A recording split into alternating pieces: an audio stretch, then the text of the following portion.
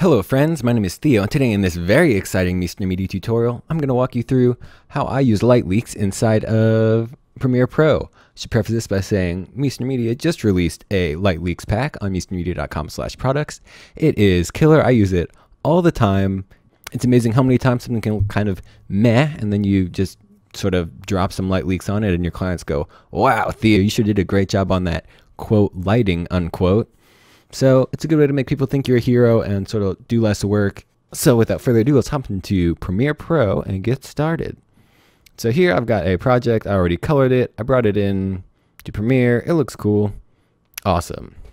So let's go ahead and bring in some light leaks. Here's the Miesner Media MX Light Leaks pack, and I'm just going to bring in the whole folder of overlays.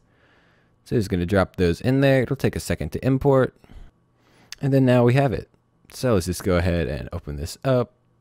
You see we've got these two folders, loud and quiet, and this is definitely going to be a loud project. And here we've got all sorts of good stuff. So we've got Campfire with Friends, Candlebug, Fly Dreams, Matrix Shift, Warm Wash, Two-Tone Trombone, Snakes on a Roller Coaster, and Rocket Man. And for this one, I think we're going to be able to get a lot of good use out of Rocket Man.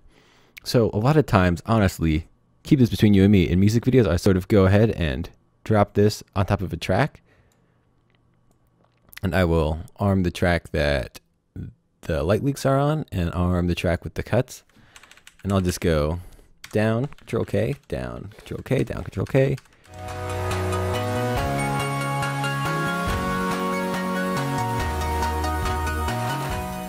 And I'll just go through and do that for the whole song. And then what I'll do is before that, I should really go and set my opacity. So I'll go set that.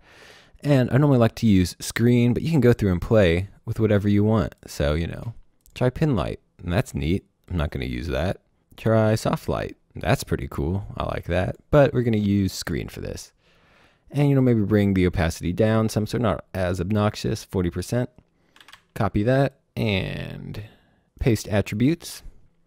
We're good to go. And then hit Y to bring up my slip tool. I just go through and sort of randomly go like that so that the light leaks are offset a little bit.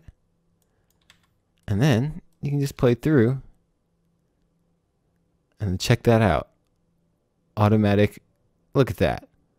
I didn't do that in camera. I added that in post and it looks pretty cool. So it's just that simple. And then we'll play that same little section without light leaks. So, you know, it's still fine. But, like, it loses a lot of energy because here's light leaks back in. So much more movement. And then without it. So, just like that. Light leaks are super baller.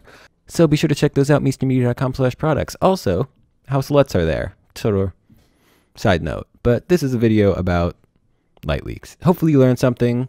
Hopefully, you go and check them out. If you like this video, give it a like. If you didn't, give it a dislike. No matter what, leave your feelings down in the comments below.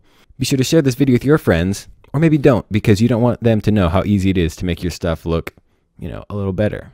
Once again, I've been Theo with Miesner Media. Hope you have a great day, and I will see you next time. Bye.